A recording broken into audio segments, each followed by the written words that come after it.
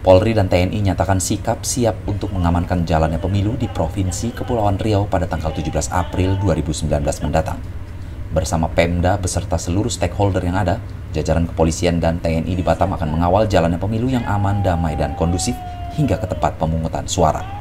Pernyataan ini disampaikan oleh Kapolda Kepulauan Riau Irjen Pol Anda Budi Revianto dengan didampingi dan Lantamal 4 Tanjung Pinang Laksamana Pertama TNI Al Arsyad Abdullah saat menjadi inspektur upacara pada apel gelar pasukan dalam rangka pengamanan menghadapi pemilu 2019 di lapangan parkir Sport Hall Temenggung Abdul Jamal Batam, Kepulauan Riau yang diikuti oleh 15.743 peserta.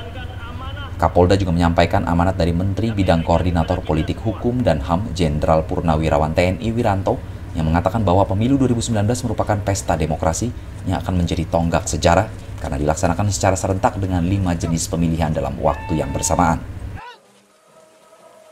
Sukses atau tidaknya perhelatan demokrasi ini sangat tergantung kepada semua pihak yang terlibat secara langsung maupun tidak langsung.